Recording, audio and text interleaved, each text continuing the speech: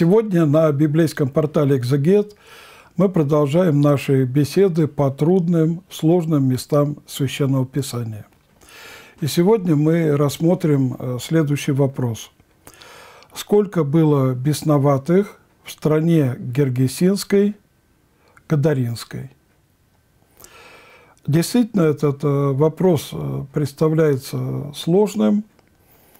Я сначала прочитаю Евангелие от Матфея, потом от Марка и от Луки.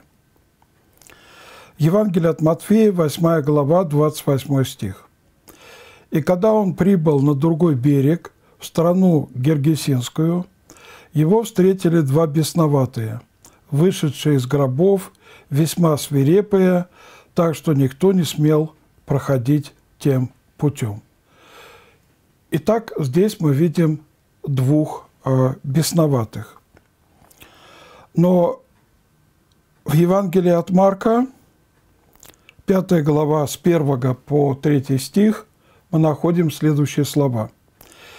«И пришли на другой берег моря, в страну Гадаринскую, и когда вышел он из лодки, тот час встретил его, вышедший из гробов, человек одержимый нечистым духом, он имел жилище в гробах, и никто не мог его связать даже цепями.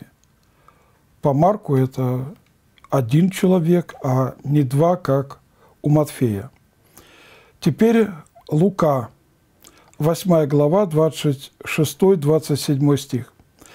«И приплыли в страну Гадаринскую, лежащую против Галилеи, когда же вышел он, то есть Христос, на берег, встретил его один человек из города, одержимый бесами с давнего времени, и в одежду не одевавшийся, и живший не в доме, а в гробах.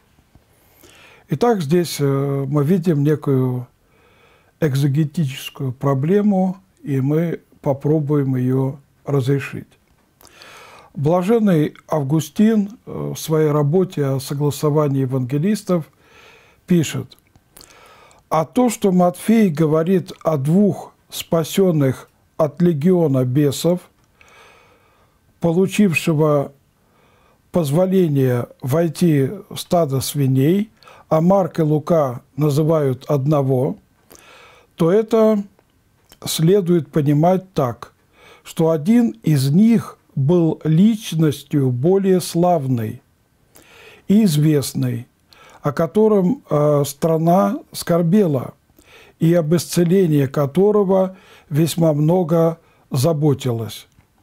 Желая это отметить, два евангелиста сочли нужным упомянуть об одном, о котором молва распространилась более широко и очевидно. И то обстоятельство, что слова демонов приведены евангелистами не одинаково, не дает повода к какому-либо сомнению, так как они могут быть сведены по значению к одному и тому же смыслу. Или же можно принимать так, что они были сказаны все вместе. И что может быть противоречивого в том, что у Матфея говорится во множественном числе, а у других в единственном. Ведь они сами повествуют, что на вопрос, как его называть, спрошенный ответил, что имя ему «Легион», потому что бесов было много, равно как и в том, что говорит Марк, а именно, что стадо свиней было около горы – а Лука на горе. Ведь стадо свиней было так велико, что нечто из него было на горе, а нечто около горы. Потому что, как ясно указал Марк, было 2000 свиней. Конец цитаты. Итак, э, здесь мы видим объяснение. Но если э, рассуждать э, по самому тексту, то совершенно очевидно, что там были не только свиньи, но и пастухи, которые пасли этих э, свиней, хотя не в каждом э, случае они могут и упоминаться, эти пастухи. А подобно там могли быть и просто люди из города, которые наблюдали за происходящим.